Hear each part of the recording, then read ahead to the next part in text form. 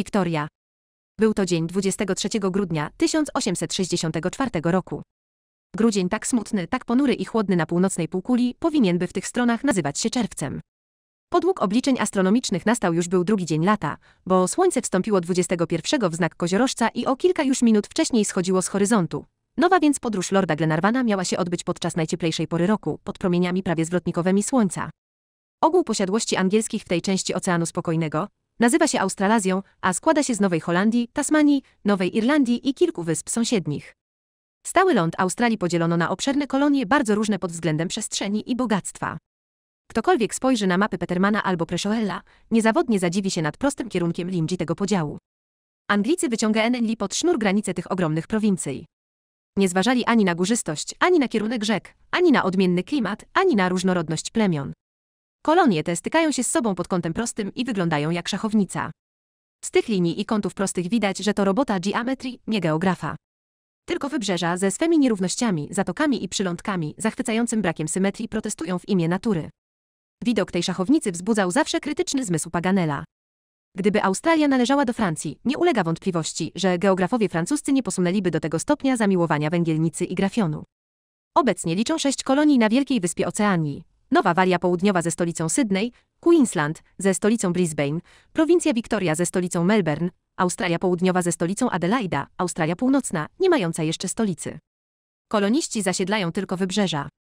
O 200 mil angielskich w głąb kraju wznosi się zaledwie kilka miast ważniejszych, wnętrze zaś tej krainy, to jest przestrzeń, równająca się dwóm trzecim częściom Europy, dotąd jeszcze jest prawie nieznana. Na szczęście 37 równoleżnik nie przechodzi przez te niezmierzone pustynie, te nieprzystępne krainy, które naukę kosztowały tyle ofiar. Wszystkie trudy i usiłowania Glenarvana nigdy tu nie pomogły. Miał tylko do czynienia z południową częścią Australii, która się składa z wąskiego pasa prowincji Wiktorii i z wierzchołka przewróconego trójkąta, jaki tworzy Nowa Walia Południowa. Od przylądka Bernowilli do granicy Wiktorii liczą zaledwie 62 mile angielskie. Nie więcej to niż dwa dni drogich i Erten spodziewał się nocować nazajutrz w Aspri, mieście leżącym na samym zachodzie prowincji Wiktorii. Początek podróży zwykle odznacza się rzeźwością jeźdźców i koni. Co do pierwszych, nie ma nic do powiedzenia, lecz należy zawsze hamować zapał ostatnich, bo, mając długą podróż przed sobą, trzeba koniecznie oszczędzać siły wierzchowców. Z tego względu postanowiono nie robić więcej dziennie nad 20 do 30 mil angielskich. Zresztą należało stosować chód koni do powolniejszego stąpania wołów, które, jak narzędzia mechaniczne, tracą na czasie to, co wygrywają na sile. Wóz z podróżnymi i zapasami stanowił środek karawany, ruchomą fortecę. Jeźdźcy mogli jechać z boków, gdzie się komu spodobało, nie oddalając się wszakże zbyt daleko. Ponieważ nie trzymano się żadnego szczególnego porządku, każdy zatem mógł robić, co zechciał. Myśliwi uganiać się po płaszczyźnie, galanci rozmawiać z damami, jadącymi w powozie, a filozofowie prowadzić dysputy uczone. Paganel, posiadający wszystkie te przymioty, musiał być i był wszędzie razem. Podróż przez prowincję Adelaida nie przedstawiała nic zajmującego. Szereg niewysokich, pełnych kurzawy pagórków.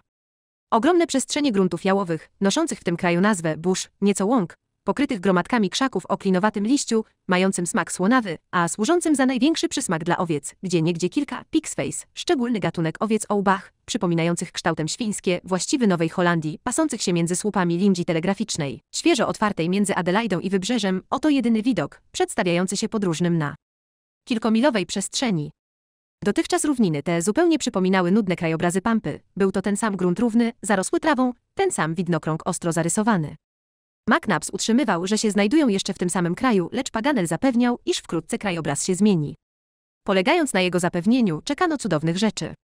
Około trzeciej orszak przybył na szeroką, ogołoconą z drzew równinę, znaną pod nazwą Mosquitoes Plains. Uczony geograf mógł stwierdzić, że zasługuje ona istotnie na swoją nazwę. W rzeczy samej podróżni i ich konie wiele ucierpieli od ukąszeń komarów, których uniknąć nie było można. Dzięki amoniakowi znajdującemu się w podróżnej apteczce, ból z ich ukłucia łatwo dawał się uśmierzać. Niemniej Paganel zaczął przeklinać nieznośne owady, szpikujące ostrymi żądłami wysoką jego postać. Ku wieczorowi kilka żywopłotów z akacyj, kilka tu i ówdzie porozrzucanych gumowców białych, świeży ślad wozów ożywiły krajobraz. Na koniec ukazały się dobrze utrzymane ogrodzenia. O ósmej woły, naglone przez poganiacza Ayrtona, przybyły do stacji Red Gum. Wyraz ten stacja oznacza siedzibę wewnątrz kraju, gdzie hodują bydło, stanowiące największe bogactwo Australii. Hodowcy nazywają się squatters, to jest ludzie siadający na ziemi. Rzeczywiście jest to najpierwsza postawa, jaką przybiera każdy kolonista, znużony długowędrówkami po tych niezmierzonych przestrzeniach. Stacja Red Gum była to wcale niewielka osada, jednakże Glenarvan znalazł tam najszczerszą gościnność. W tych odludnych siedliskach zawsze się znajdzie nakryty stół dla podróżnego, a każdy kolonista australijski jest bardzo gościnnym gospodarzem. Nazajutrz Erten zaprzógł woły o świcie, chciał bowiem tegoż dnia wieczorem stanąć na granicy Wiktorii. Grunt stawał się coraz nierówniejszy. Małe wzgórki, pokryte czerwonym piaskiem, falowały jak daleko oko mogło dojrzeć. Rzekłbyś, że to ogromna płachta czerwona, rzucona na ziemię i pofałdowana powiewem wiatru. Kilka malis, rodzaj sosen biało-nakrapianych, o pniu gładkim i prostym, roztaczało gałęzie, pokryte ciemnozielonym liściem, nad żyznymi pastwiskami, na których roiły się wesołe stada skoczków. Potem ukazały się ogromne przestrzenie pokryte zaroślami i młodymi drzewkami gumowymi. Na koniec zarośla znikły, drzewka zamieniły się na drzewa, podróżni mieli przed sobą pierwszą próbkę lasów australijskich. Im więcej się zbliżali do granicy Wiktorii, tym widoczniej zmieniała się postać kraju. Podróżni czuli, że stąpają po nowej ziemi. Jechali ciągle w prostym kierunku i ani jeziora, ani góry nie zmuszały ich do zbaczania z linii prostej. Stosowali w praktyce główne twierdzenie geometryczne i podróżowali najprostszą, a zatem najkrótszą, drogą. Myśl o trudach i przeszkodach ani przychodziła im do głowy. Pochód ich stosował się do powolnego kroku wołów, a chociaż te spokojne zwierzęta nie szły prędko, jednak posuwały się naprzód, nie zatrzymując się nigdy. Tym sposobem Orszak, zrobiwszy we dwa dni 60 mil angielskich, 23 wieczorem stanął w Aspli, pierwszym mieście prowincji Wiktorii, położonym w obwodzie Wimera, pod 141 stopniem długości. Erten umieścił wóz w Crowns Inn, oberży, która przybrała nazwę hotelu pod koroną. Wieczerza, składająca się wyłącznie z baraniny, przyrządzonej na rozmaite sposoby, parowała na stole. Jedzono wiele, a rozmawiano jeszcze więcej. Wszyscy niecierpliwie pragnęli dowiedzieć się o osobliwościach Australii, a skutkiem tego było zarzucanie pytaniami geografa. Paganel nie dał się długo prosić i opowiadał o tej części prowincji Wiktorii, która otrzymała nazwę Australii Szczęśliwej. Mylna to nazwa, mówił on, stosowniej było nazwać ją Australią bogatą, bo i z krajami rzecz tak się ma, jak z ludźmi. Bogactwo nie stanowi szczęścia. Australia, dzięki swoim kopalniom złota, stała się pastwą tłumów dzikich, wszystko niszczących awanturników. Przekonacie się o tym, gdy będziemy przejeżdżali okolice złotodajne. Kolonia Victoria, o ile mi się zdaje, niedawno istnieje. Odezwała się pani Glenarvan. Tak, pani, liczy dopiero lat 30. Działo się to 6 czerwca 1835 roku, we wtorek. O godzinie kwadrans na ósmą wieczorem dodał major, który lubił żartować z dokładności, z jaką Paganel zwykł określać daty.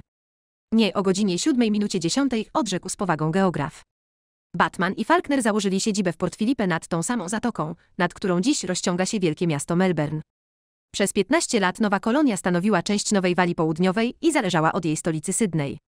W 1851 roku uzyskała niezawisłość i przytem nazwę Victoria. I dobrze się jej wiodło od tego czasu. Spytał Glenarvan.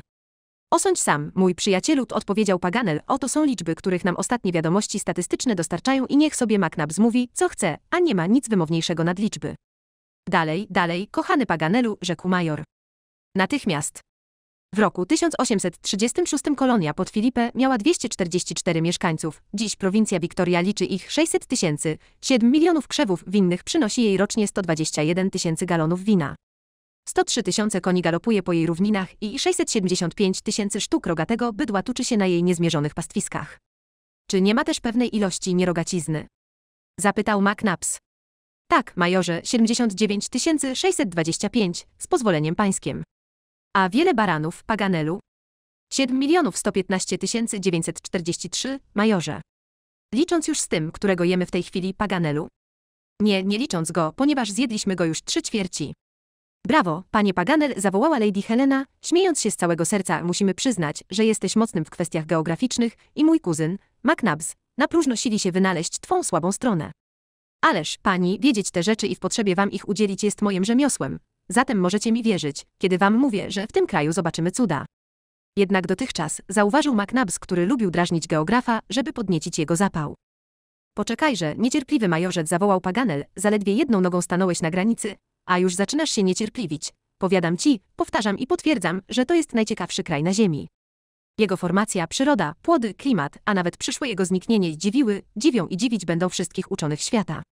Wyobraźcie sobie, moi przyjaciele, ląd, którego nie środek, lecz brzegi pierwej wystąpiły nad powierzchnią fal, jak pierścień olbrzymi, który zawiera morze w okolicach środkowych wewnętrzne, na półwyschłe morze, którego rzeki wysychają z dnia na dzień, gdzie wilgoć nie istnieje ani w powietrzu, ani w gruncie, gdzie drzewa nie liście co rok tracą, ale korę, gdzie liście nie na płask, lecz bokiem obrócone są do słońca i nie dają cienia, gdzie drzewo często bywa niepalne, gdzie kamienie.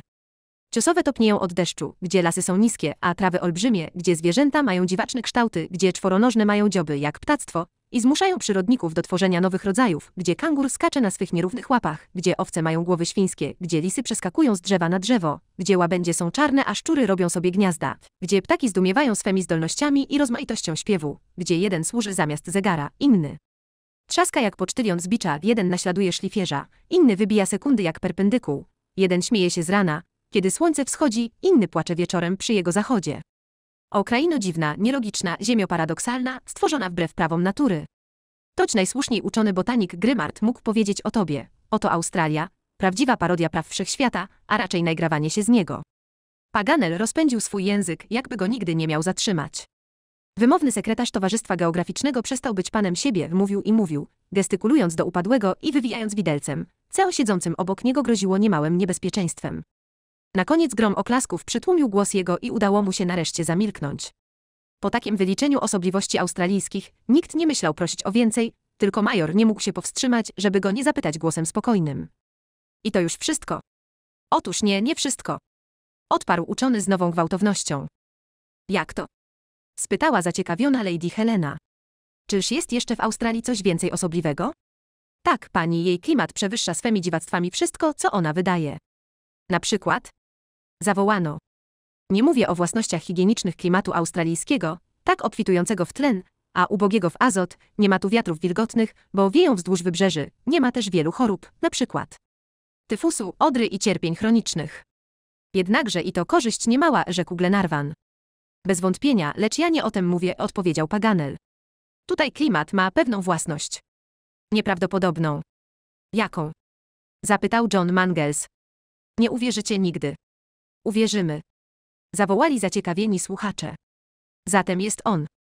Czemże? Moralizatorem. Jak to moralizatorem? Tak jest, odpowiedział uczony, pełnym przekonania głosem, e tak, moralizatorem. Tutaj powietrze nie psuje ani kruszców, ani człowieka. Tutaj atmosfera czysta i sucha bieli wszystko prędko, i płótno, i duszę. I w Anglii dobrze zauważono zalety tego klimatu, kiedy postanowiono wysyłać do tego kraju ludzi potrzebujących poprawy. Jak to? Czy ten wpływ rzeczywiście daje się zauważyć? Spytała Lady Glenarvan. Tak, pani, równie na zwierzętach, jak i na ludziach. I pan nie żartuje? Nie żartuje. Konie, bydło tutejsze odznaczają się znakomitą łagodnością. Zobaczy to pani. Niepodobna. Ależ tak jest. Złoczyńcy, przewiezieni do tego ożywczego i uzdrawiającego klimatu, w kilka lat zupełnie się tu przekształcają. Lecz w takim razie, panie Paganel, rzekła Lady Helena, cóż się stanie z panem, który już dziś jesteś tak dobry, na tej ziemi uprzywilejowanej? Stanę się doskonałym, odpowiedział Paganel, po prostu doskonałym.